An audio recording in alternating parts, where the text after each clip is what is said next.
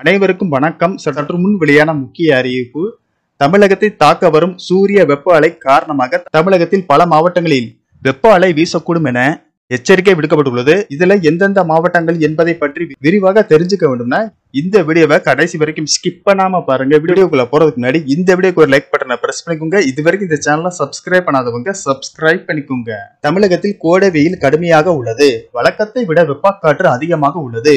பகல் நேரங்களில் மக்கள் வெளியில் சென்றால் உருண்டு விழும் அளவிற்கு பல இடங்களில் வெயிலின் தாக்கம் இருக்கிறது. இரவில் புழுக்கம் காரணமாக அவதிப்படுகிறார்கள். வெப்ப அலையால் பலரும் பாதிக்கப்பட்டுள்ளனர்.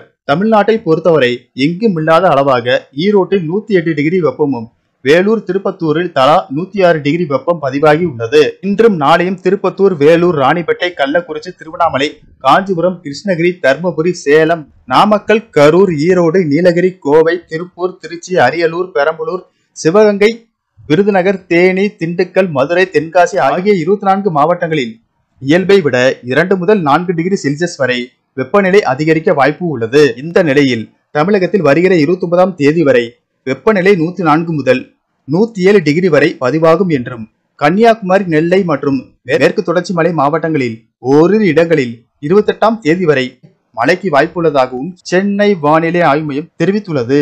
மேலும் வட உள் தமிழ்நாட்டில் மே ஒன்று முதல் நான்காம் தேதி வரை வெப்ப அலை உச்சத்தை தொட வாய்ப்புள்ளது. மே ஒன்றாம் தேதி தமிழ்நாட்டில் வெப்பநிலை நூத்தி பதினைந்து டிகிரி பேரன்கிட் அளவுக்கு இருக்க வாய்ப்புள்ளது.